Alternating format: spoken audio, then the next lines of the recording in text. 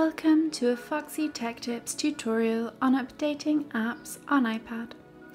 If you find this tutorial helpful, please consider subscribing to my channel and liking the video.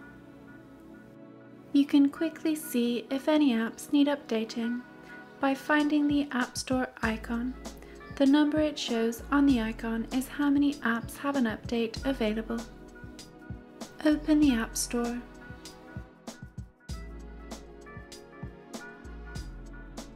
tap your profile icon from the top right of the screen. Scroll down and you'll get to the available updates section. Here you can tap Update All to update all of your apps at once. Or you can scroll through the apps and manually update only the ones you want to.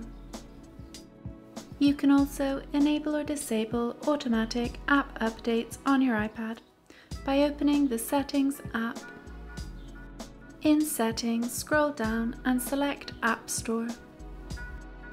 The second option here is to enable or disable automatic app updates. And that draws an end to this tutorial.